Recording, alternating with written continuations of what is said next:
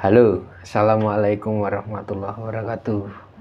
Oke, terima kasih teman-teman yang sudah selalu berada di channel saya.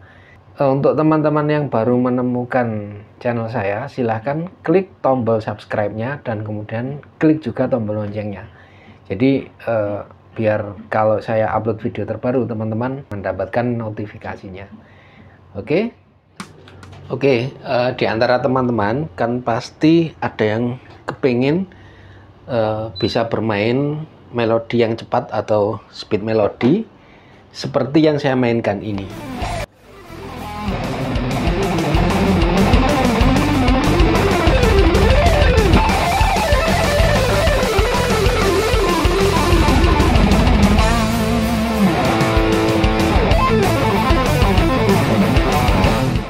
Nah, kali ini akan kita bahas uh, esensial teknik. Jadi teknik apa saja yang bisa mendukung untuk bermain seperti yang saya mainkan itu. Oke. Okay. Uh, eh, teknik yang perlu kita persiapkan adalah satu picking, yang kedua legato. Uh, kita bahas dua ini saja dulu teman-teman. Dua ini. Jadi dari dua ini nanti bisa menjadi empat teknik. Oke? Okay? Kok bisa begitu? Simak teman-teman. Ya, dari picking sendiri, picking sendiri nanti kita bagi menjadi tiga. Satu, alternate picking. Kedua, economic picking. Yang ketiga, partial picking. Oke. Okay? Nah, sama legato akhirnya jadi empat kan, empat teknik. Nah, sebelum kita uh, membahas ke partial picking, kita nanti mesti membahas legato dulu. Jadi pertama kita bahas adalah alternate picking economic picking, terus kemudian legato, baru partial picking. Soalnya partial picking nanti hubungannya sama legato. Oke, kita bahas uh, alternate picking dulu. Oh ya, sorry, sorry, sorry. Sebelum kita bahas ke ke te teknik itu, kita mesti memperhatikan gitar kita, ya. Jadi jarak antara antara neck ya sama senar. Ini teman-teman setting serendah banget ya. Serendahnya pokoknya jangan sampai basing jadi serendah-rendahnya maksimal. Itu nanti kita e, bisa nyaman untuk bermain cepat. Karena legato nanti kita membutuhkan jarak antara senar dengan fret itu yang pendek ya.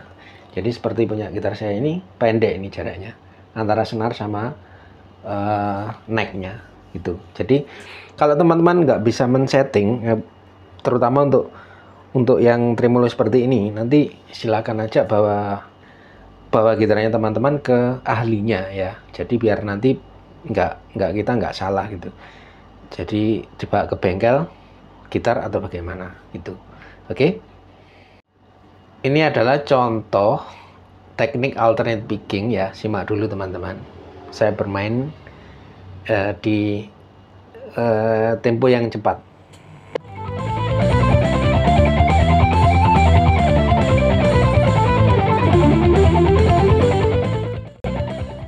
Oke, kita mulai dari alternate picking. Alternate picking itu apa? Oke, alternate picking itu pokoknya kita uh, memainkan nada, misalkan banyak nada gitu ya. Uh, yang penting arah picknya itu selalu bergantian. Jadi down, up, down, up, down, up, down, up, down, up, dan seterusnya. Atau dari up, down, up, down, up, down, up, down, dan seterusnya. Oke, contohnya seperti apa? Nah, sekarang saya ambil dari do re mi saja ya. Misalkan uh, do re mi fa sol la si do di sini di fret ke-8 senar ke-6 ya 8 10 12 do re mi terus kemudian senar bawahnya sama fret 8 8 10 12 fa sol la do re mi fa sol la si do. Nah, biar biar genap biar genap masing-masing senar itu tiga nada. Saya terakhir di re ya. Ya do re mi fa sol la si do re. Sampai situ ya oke. Nah kalau uh, teknik alternate picking, jadi misalkan kita mengambil do sini sampai re sini ya, ya kita picknya selalu bergantian arahnya. Jadi misalkan ini dari down dulu ya, down, up, down. Nah pindah senar tetap up, down, up, down, up, ya. Jadi nggak peduli nggak peduli pindah senar atau tidak. Yang penting pokoknya uh, setelah down, up atau setelah up, down gitu. Down, up, down, up, down, up, pindah senar lagi, down. Karena terakhir ini adalah up ya. Down, up, down. Nah, down, up, down, up, down, up, down, up, down. Oke, jangan jangan salah teman-teman ya. Jadi kuasai dulu ini, jangan salah arah picknya. Soalnya saya pernah terjebak sekitar dua tahunan ya. Kenapa saya kok nggak bisa teratur mainnya gitu, nggak nggak uh, misalkan hari ini saya bisa besoknya nggak bisa seperti itu. Nah ternyata saya salahnya di situ ya. Tidak bermain alternate picking. Jadi main sesuka hati gitu. Gitu ya. Jadi ini perlu dilatih benar-benar. Down up down up down up down up down. Nah misalkan kita dari sini terus kembali ke atas tetap sama. Down up down up down up down up down up down up down up down up down pokoknya selalu bergantian oke? Okay? itu adalah alternate picking ya. Oke okay, yang kedua adalah teknik economic picking. Ini adalah teknik economic picking saya mainkan di tempo yang cepat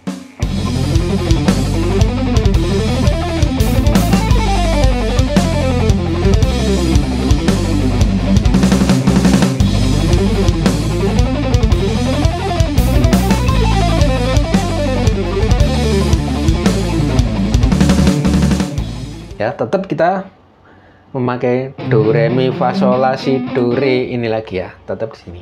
Nah ini uh, bedanya alternative picking sama economic picking ya tetap di kanannya ya. Kalau misalkan tadi alternate picking kan down up down terus kemudian pindah senar jadi up ya pokoknya bergantian gitu kan bergantian setelah down up. Nah kalau alternate, eh sorry, kalau economic picking seperti ini, down, up, down, down. Nah, pada saat pindah senar, kita ya arah picknya itu sama ya. Kalau misalkan down berarti down semua. Down, up, down, down ya.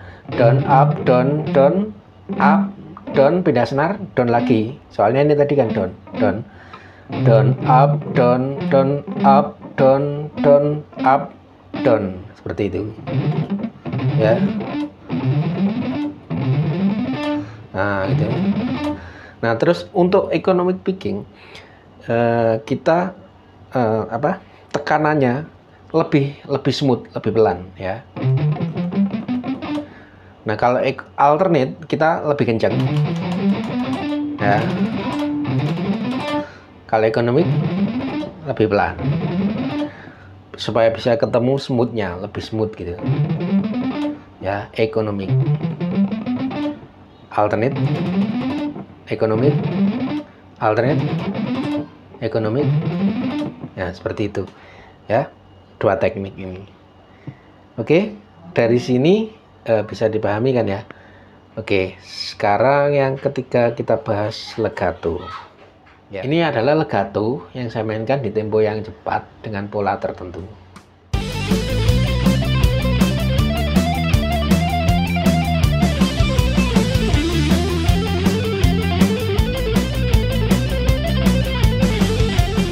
Uh, untuk membentuk legato, teman-teman harus paham hammer, teknik hammer,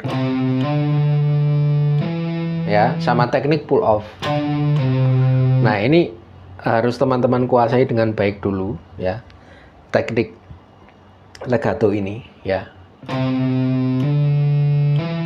Ya jadi hammer bagi teman-teman yang belum tahu tapi mestinya udah tahu semua kan ya.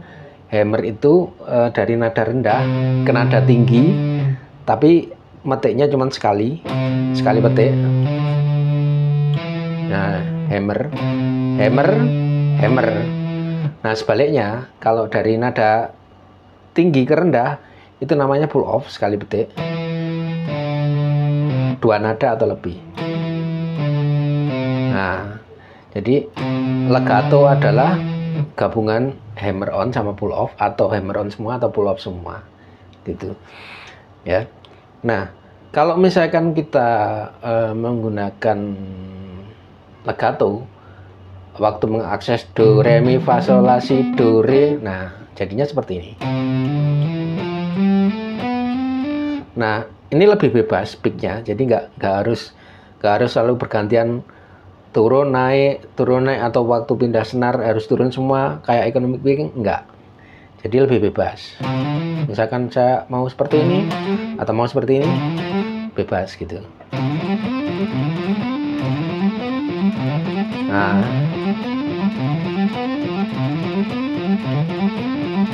nah ini teman-teman harus kuat di sini. Nah, jadi nggak nggak boleh lemah gitu. Nggak boleh lemah gitu. Jadi harus kuat. Nah begitu juga sebaliknya pull off nya nah ini harus harus bunyi. Nah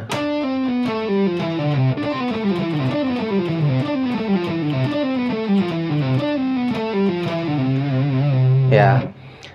Nanti untuk awalnya belajar uh, legato ini lebih susah. Cuman kalau nanti teman-teman sudah uh, sudah jadi sudah mahir di legatonya belajar legato sama leg, sama belajar picking uh, sorry kecepatan legato sama kecepatan picking nanti bisa jadi lebih cepat legatonya daripada pickingnya gitu. Gitu. Ya. Nah, tapi untuk pertama kalinya, coba nanti buktikan teman-teman ya, terutama teman-teman yang baru belajar. Nah, ini akan untuk dari sini ke sini bunyi gini susah banget. Nah, jadi ini nggak nggak cuman sekedar gini, bukan terus ini diangkat gini, nggak, tapi sambil ditarik. Nah, nah kalau kalau pas kita menarik bisa jadi senar bawahnya ikut ketarik juga nah kita mesti agak gini nah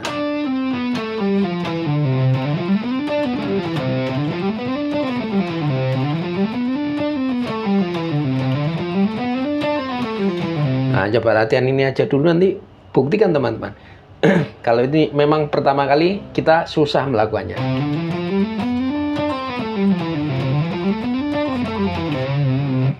Oke. Nah, sekarang kita belajar partial picking seperti yang saya katakan di depan tadi di video ini. Jadi uh, urutannya kita belajar alternate picking, economic picking, legato, baru belajar partial picking gitu. Nah, partial picking itu adalah gabungan antara picking sama legato. ya, misalkan kita tetap ngambil yang di sini tadi Nah, itu kita kita gabung. Jadi, misalkan di do re mi kita menggunakan picking. Terus kemudian fa sol la kita menggunakan hammer atau legato. Nah, seperti itu. Terus ini menggunakan picking lagi. Gitu. Misalkan seperti itu. Ya. Nah. Nah, makanya seperti yang saya katakan di depan tadi, uh, teknik legatonya harus bagus pada saat kita bermain uh, partial picking ini ya. Jadi saya variasi pertama misalkan ini picking, legato, picking, terus kembalinya misalkan legato, picking, legato, misalkan berangkatnya picking picking legato picking. Terus kembalinya uh, legato picking legato.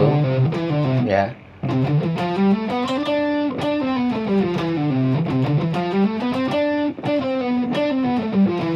Atau misalkan kita pickingnya cuma diambil di uh, ini aja do re mi nya aja misalkan. Terus kemudian legatonya di fa sol la si do re misalkan. Nggak apa-apa. Bisa juga.